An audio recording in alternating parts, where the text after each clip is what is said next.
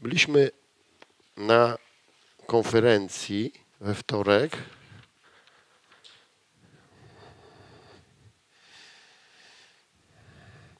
I z tej całej konferencji udało mi się wychwycić dwa zdania.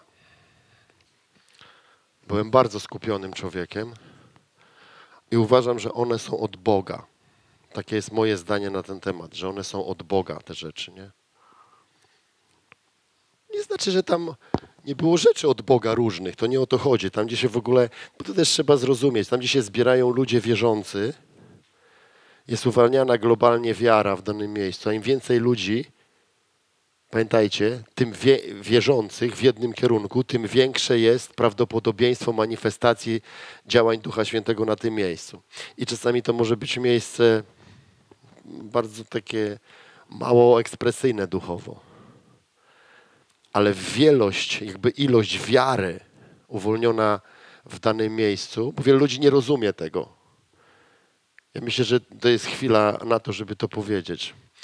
Wielu ludzi nie rozumie, dlaczego na różnych spotkaniach, na przykład dużych spotkaniach Kościoła katolickiego, dzieją się znaki i cuda.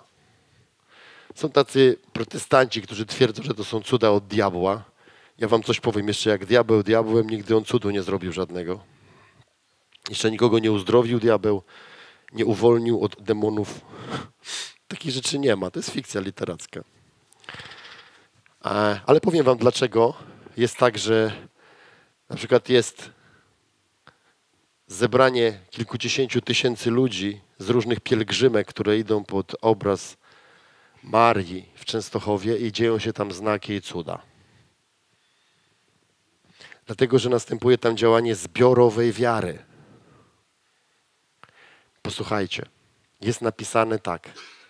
Gdzie dwóch lub trzech w moim imieniu się zbierze i coś ustanowią między sobą, to się im stanie. Przez lata czytałem ten werset od po prostu,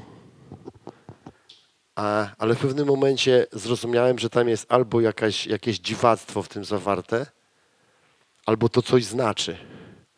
Powiedziałem, Boże, Ty jesteś precyzyjnym Bogiem. Czemu tu jest napisane dwóch lub trzech? Co to znaczy w ogóle? No dobrze, dwóch. Dla mnie to logiczne. Mamy informacje ze Starego Testamentu, że dwoje świadków i tak dalej, i tak dalej. Czemu trzech? Co to jest te trzech? I to jest nic innego jak wielość świadków danego zagadnienia. A więc im więcej świadków danego zagadnienia w danym miejscu, tym większy manifest duchowy w tym miejscu. Rozumiecie?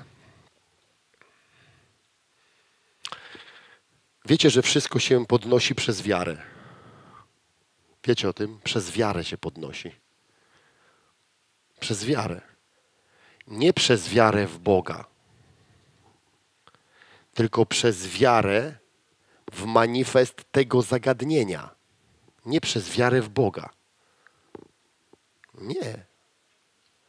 A więc jeśli się zbierze 10 tysięcy buddystów w jednym miejscu i będą oni wierzyć o uzdrowienie ludzi, to będą tam następowały uzdrowienia ludzi. Ktoś powie, jak to? A no tak to. Wiesz, akurat jak Chrystus umierał na krzyżu, to go nie interesowało, kto będzie buddystą, a kto nie. Tak jak Jezus umarł za grzechy wszystkich ludzi. Tak w ranach i sińcach Jezusa jest uzdrowienie każdego człowieka. I jeżeli jakiś człowiek na świecie wierzy w swoje uzdrowienie, to będzie uzdrowiony.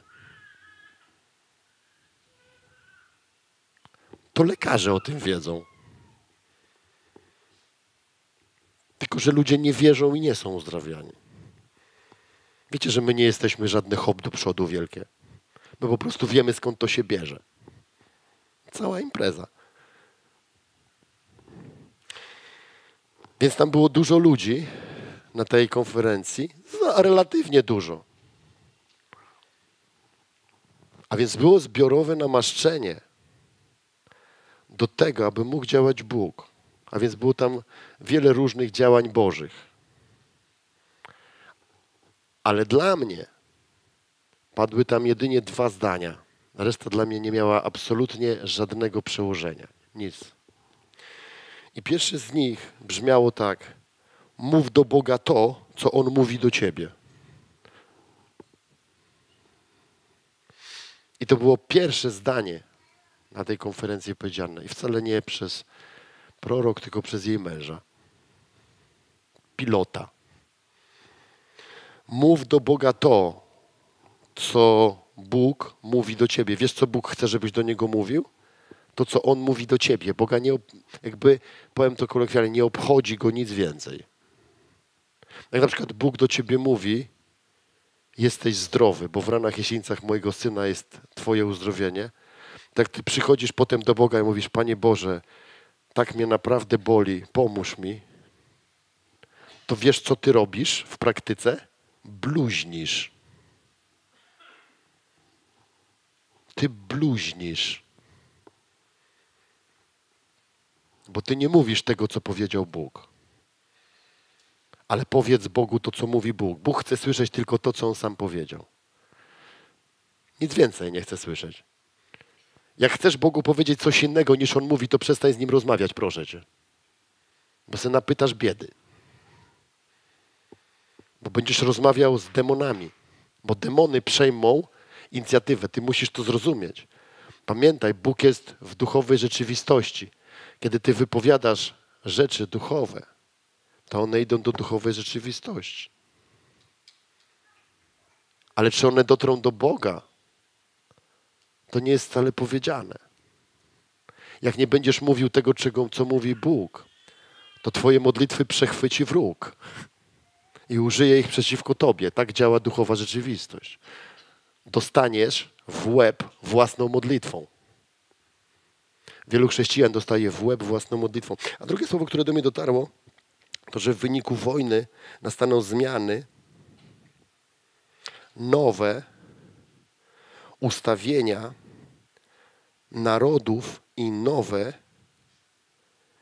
perspektywy. Nastaną nowe rzeczy. Nowe. I teraz, kiedy przyjmujemy takie proroctwo, to my teraz modlimy się, żebyśmy my, jako ruch, byli w tych nowych sprawach kim? Czpieniem włóczni. Coś wam powiem. Pchaj się w duchu do przodu. Normalnie się tam pchaj. Rozumiesz? Pchaj się tam. Nie czekaj, aż ktoś ci uchyli drzwi. Są nowe przestrzenie do zagospodarowania. Posłuchaj, kto pierwszy, ten lepszy. Zrozumiałeś, co do ciebie powiedziałem? To nie jest niebo. Nie żyjesz w niebie. Żyjesz na ziemi, więc kto pierwszy, ten lepszy. Kto pierwszy, ten lepszy. Właś w modlitwie w nowe przestrzenie. Uwierz, że jest nowe rozdanie teraz. A my siedzimy przy tym stole. Siedzimy przy głównym stole. Tam, gdzie się kręci ruleta. Rozumiesz, o czym mówię? Mamy tam swoje miejsce. Wykupione miejsce mamy zajęliśmy wakat. My to zajęliśmy. Rozumiecie?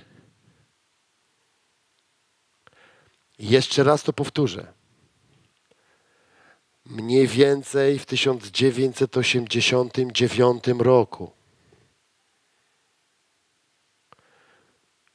W tamtym okresie czasu, no trochę wcześniej, w tam, no w tamten czas generalnie powstał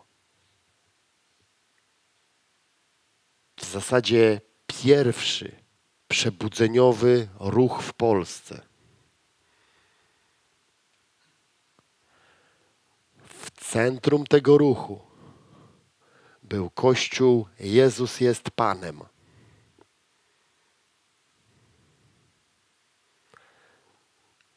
Z pastorem Andrzejem Wojciechowskim. Ale sprawa się rypła. Nie będę tego tu tłumaczył, bo to nie jest na to miejsce. Kiedyś wam o tym opowiem, jak będziecie chcieli. I w te miejsce wszedł drugi ruch, bo był wolny wakat przy tym stole. Ten drugi ruch to był kościół Spichlerz z Andrzejem Stepanowem pastorem. Ale sprawa się rypła. I weszliśmy my w te same miejsce. Raz się zwolniło miejsce przy stole,